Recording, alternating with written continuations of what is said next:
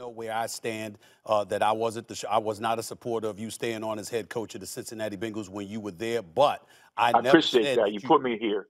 yeah.